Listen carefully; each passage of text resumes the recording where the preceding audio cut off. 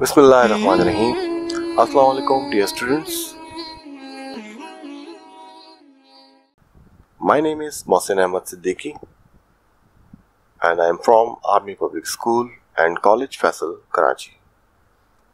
I am going to be teach you computer for class 6 and the book we will be following eSkills Learner Level 6 and today we will be studying module 1 learning the basics and our topic is talks on computer and devices. So today our objective is we will learn hardware and software concepts.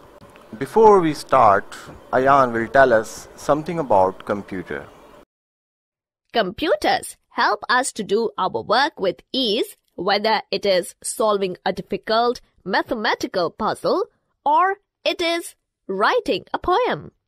Computers can be simple and they can be complex, but they are made of two components, hardware and software. Thank you, Ayan. Okay, introduction of computer. Computer is an electronic calculating device that accepts your data in form of input and process data automatically and logically produce information in form of output. It is divided into two categories, hardware and the another is software. As you can see in the picture, computer have two categories, hardware and software. It is a combination of both. Hardware and software. A computer system consists of two major elements which is hardware and software. Computer hardware is a collection of all parts you can physically touch. Now you can see in the picture and the other side software. Now what is software? Computer software on the other hand is not something you cannot touch. It means you cannot touch the software but hardware you can touch it. Software is a set of instructions for a computer to perform specific operations. You need both hardware and software for a computer system to work. These are the programs that you need in order to operate your computer such as your operating system.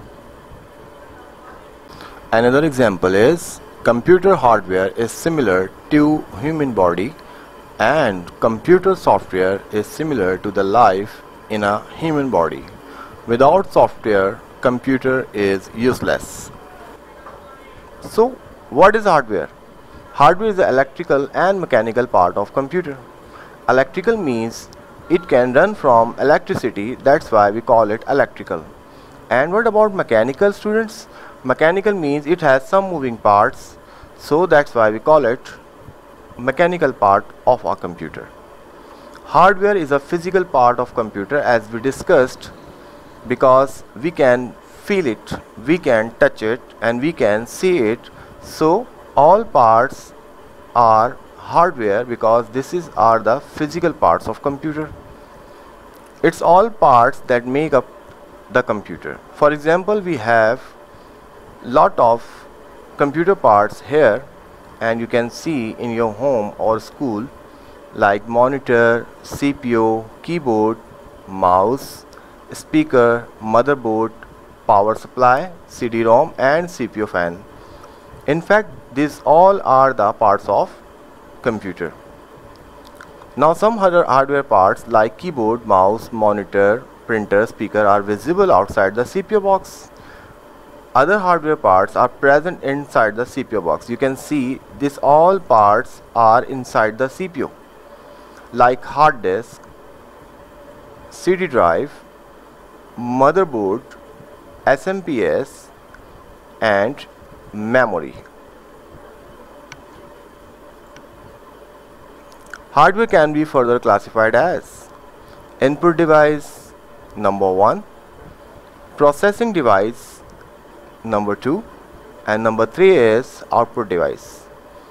And you can see in the picture this all parts are connected with a CPU which is our processing device. Keyboard and mouse they are the input devices. And what about monitor and printer? They are output devices. This all are the hardwares too. Right? Okay. So what is software? Software is the collection of all programs that are installed on a computer. Software cannot be touched.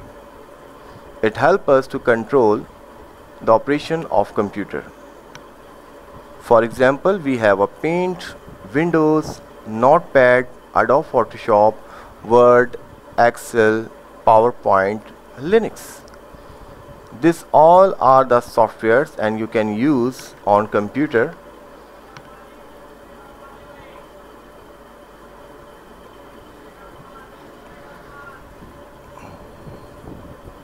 There are two types of softwares application software and the system software.